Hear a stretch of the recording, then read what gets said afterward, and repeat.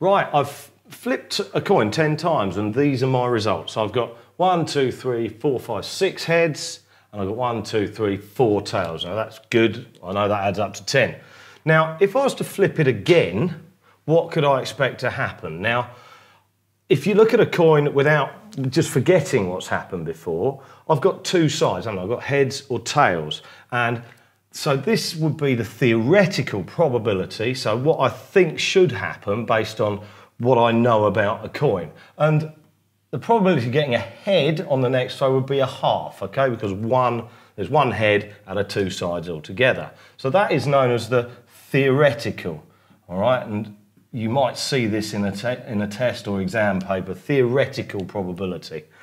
Now, I could also look at it as relative frequency and, and therefore experimental probability. Now that's looking at what's happened previously. Now what happened previously actually is I got six heads, okay, out of 10 flips, didn't I?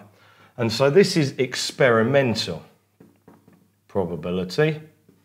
And that's where I look at what's happened before with that coin, and then from those, from those results, I work out what's going to happen next theoretical probability is I forget what's happened before, it really doesn't matter, okay?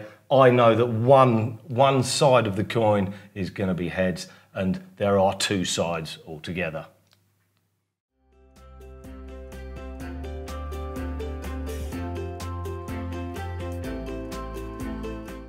Okay, Mary, so let's have a look at this one. So solve x plus 2x equals 12. So what do you think you do first?